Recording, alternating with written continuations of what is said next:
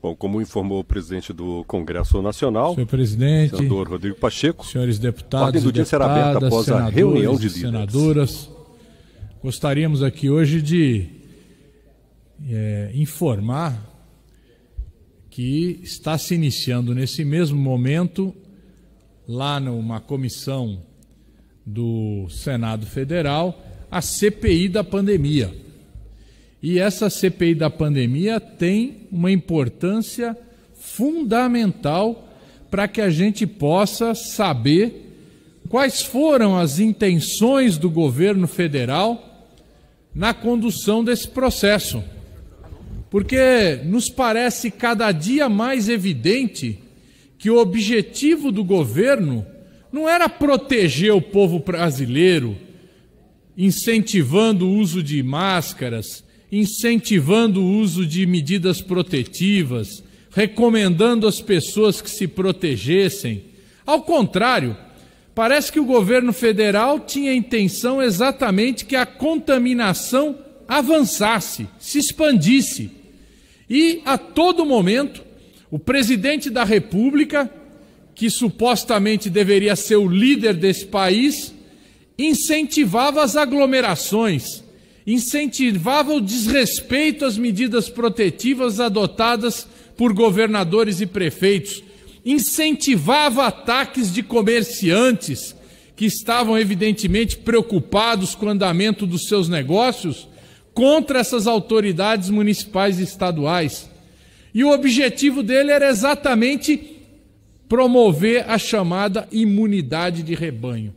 Olha aí a imunidade de rebanho mais de 400 mil mortes até agora. Provavelmente esse número já chegou a 500 mil, porque muitas pessoas morrem por insuficiência respiratória ou pneumonia, que são é, causas de, de morte que não foram averiguadas se houve a contaminação pela Covid.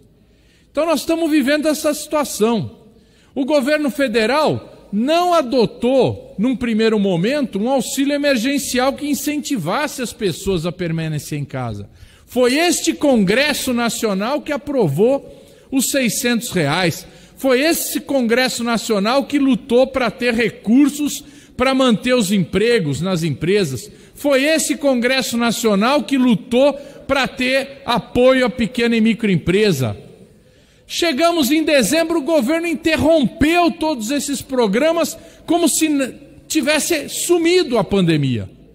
E demorou nada mais, nada menos do que quatro meses para reiniciar o auxílio emergencial e ainda não tomou medidas para voltar recursos para as empresas.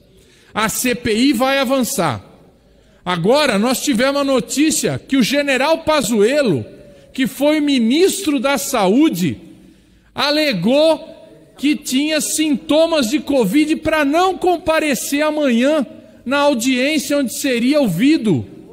Ora só, vejam só, o general Pazuello está tremendo porque não quer apresentar as suas, as suas explicações.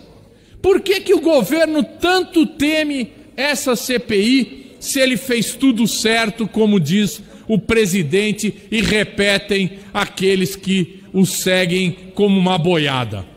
Ora, senhor presidente, essa CPI é fundamental.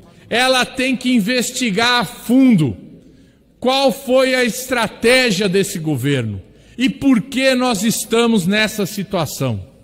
E essa CPI tem que mostrar claramente quem são os responsáveis por isso.